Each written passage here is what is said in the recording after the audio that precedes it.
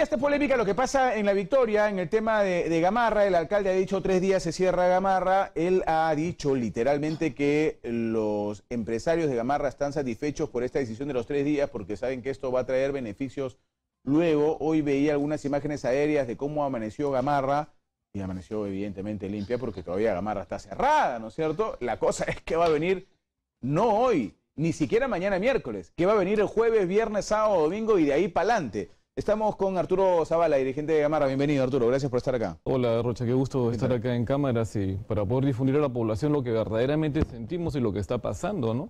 A ver, ¿qué, qué es lo que sienten los empresarios frente a esta decisión? Primero, de los tres días y segundo, lo que puede venir después. Es cierto, porque en primer lugar, el, los empresarios, como ayer nos hemos reunido dirigentes y tantos otros empresarios, estamos de acuerdo que la, esta medida sea ya. Porque evidentemente, como en una reunión previa que habíamos tenido, esto no podía durar, esta estrategia, dos meses, cuatro meses, seis. Tenía que ser ya, porque es, in, es importantísimo de que se cree orden público, ¿no? Y acá nosotros también sacamos en atención de que el Estado de Derecho tiene que hacerse cumplir. Porque eh, pasándolo libro Coquito, página 6, porque para que la gente lo entienda, uh -huh. el Estado, sus fines del Estado, orden ciudadano. Dos, establecer formas de desarrollo de la cultura de la economía. Economía. Si no hay economía, eh, ¿para qué, para qué somos parte del Estado? ¿no? Eh, en lo que corresponde al orden, evidentemente la medida ya ha sido oportuna. Eh, sí hay un costo enorme económico, porque si bien los, el sector inmobiliario que manejan 150 propietarios, no es el afectado. Claro, los dueños de la galería van a Obvio. seguir cobrando el alquiler. El día 30 cobran su, sí, su claro. platita, ¿no? Pero los afectados somos los productores, manufactureros que compramos telas, somos los que pagamos alquileres y que evidentemente... Y que en, tienen personal. En tres fechas, como hoy, que nadie sabía que iba a ser, hay señores que tienen que pagar letras, tienen que entregar mercaderías, se han quedado secuestradas en todo el perímetro las prendas que, que tenemos que distribuir. Es ah, un, no, no, pueden sacar no nada. Podemos sacarla y es un costo más allá de los 75 millones que se pierden en tres días.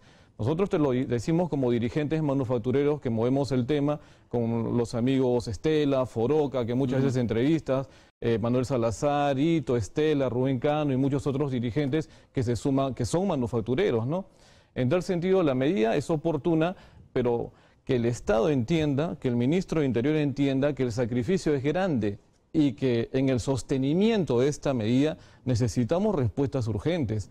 No puede ser un, una medida de tres días y después, el día viernes, ¿qué pasó? Sí, claro, eso, eso es lo que tenemos que ver. Nos vemos Porque hasta los el año. policías no se van a quedar todo este tiempo en Gamarra, nosotros, no lo sueñen. ¿eh? Nosotros cuando analizamos en mesa nos ponemos a sentar, nos sentamos los dirigentes manufactureros, decimos, la policía viene a Gamarra.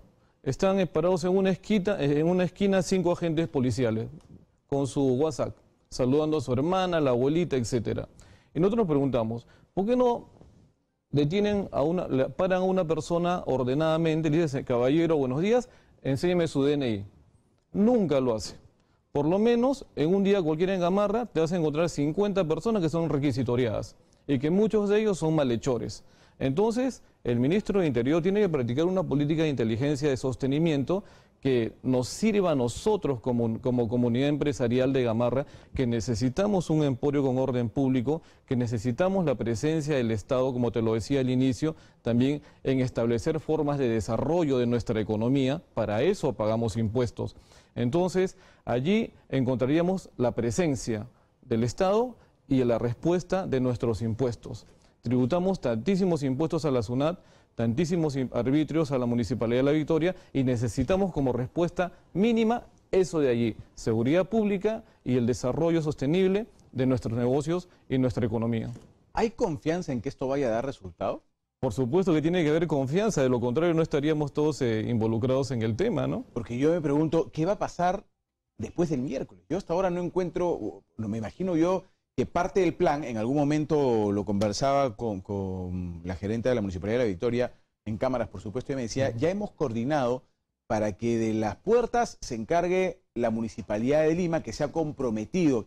¿Qué va a hacer la Municipalidad de Lima? Me imagino yo poner a un par de serenos en cada puerta, este, son un montón de puertas alrededor de, de, de Gamarra, pero ¿qué está pasando con los alrededores de Gamarra?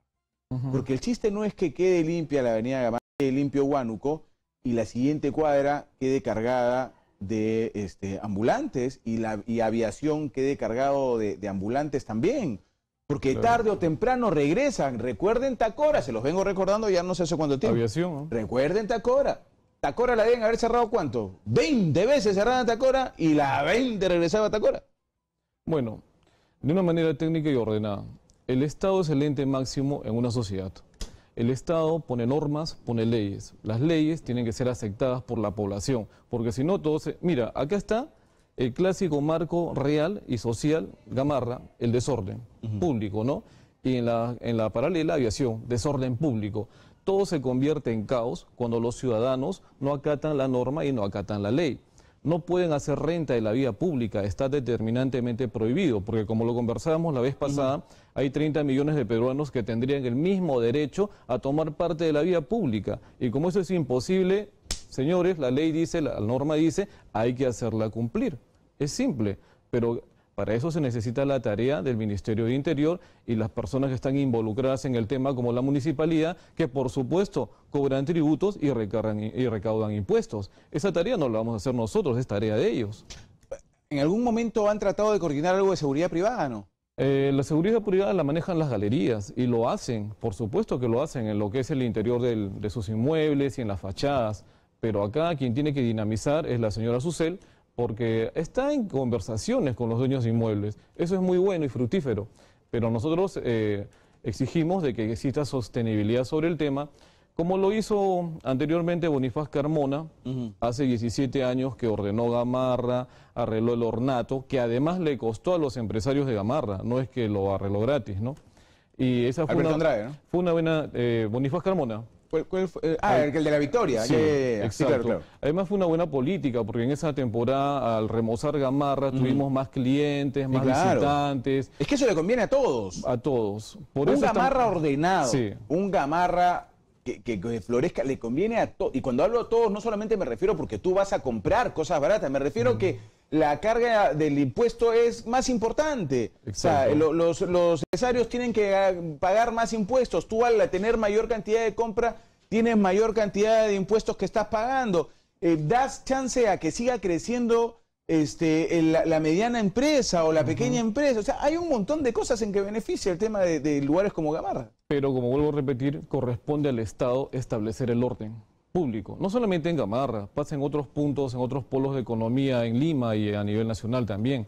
El orden es importantísimo. El papá Estado es como el padre de familia. Si el padre de familia es desordenado con sus hijos y no los forma, no los educa y no les dice cuáles son las normas reales para la convivencia entre ellos, entonces tienes una familia desordenada. Mira, pero lo que no están tomando en cuenta es que si Sí. logran limpiar Gamarra, Ya. logran limpiar Huánuco, pero no logran limpiar avia- aviación, y teniendo en cuenta que va a ser casi el mismo mercado, porque si los ambulantes llegan ahí, van a vender los mismos polos, las mismas camisas, los mismos chores, los mismos viril, los mismos... Van a tener una competencia desleal, lo que pasa es que ya no tan cerquita. Van a tener competencia desleal a tres cuadras, pero van a seguir teniendo competencia desleal. Pero va a ser menos.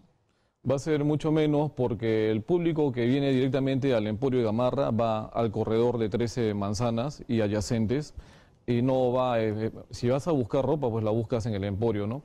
Eh, nosotros eh, lo que estamos pidiendo es que se rescate el orden a fin de que estas zonas queden liberadas para el libre tránsito de las personas, porque además este tira y jala que, que que pongo en orden Gamarra mañana, pasado, dentro de un mes, ha provocado un psicosocial en la población a nivel Lima y a nivel de- el- del interior del país, porque la gente te llama y te dice, eh, señor Zavala, quiero ir a su negocio a comprar ropa, pero me dice que hay desorden en Gamarra, que la gente está corriendo. No, señora, ya pasó, tranquilícese.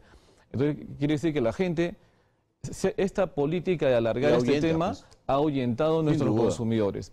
Y si a ello en economía tú le sumas que hay un- un- una recesión económica que está golpeando a la población, entonces no, no te pones en un cuello botella. Eh, las estadísticas, el 17% de deserción de padres de familia que no han podido pagar las pensiones de diciembre de sus hijos y que no pueden entrar al colegio. 17%. ¿Eso qué te indica? De que la economía está, está frenada. Claro, hay, No ha habido un frenón importante. no hay capacidad de gasto, te lo digo como economista, no hay capacidad de gasto. Y lo que nos, puntualmente nos compete a nosotros los empresarios es un Estado promotor, un Estado atento al orden ciudadano y un Estado con un Ministerio de Interior que diga, mira, acá están los policías, son estos, esta gente de inteligencia, esta gente es buena, para poder ordenar lo que otros malhechores han tomado, que es las calles. Y, ese ritmo de gasto que se pierde, no crean que es un gasto que puede suplirse desde el sector público, ¿ah? porque la inversión mm. pública este, es de este tamaño en el país y la, inversión privada es de este tamaño en el país. O sea, lo que hay que buscar es dinamizar la economía con mayor ingreso de este dinero privado, que, que invierta en el país, que el país crezca que siga creciendo la, manufactura, que hay un montón de cosas para trabajar todavía. Bueno, evidentemente cualquier persona que invierte su plata es pro capital, ¿no? La gente quiere inversiones, movimientos, generación de empleo. Nosotros en Gamarra somos pro inversiones. Necesitamos eh, salir del mercado interno hacia otros lugares a vender,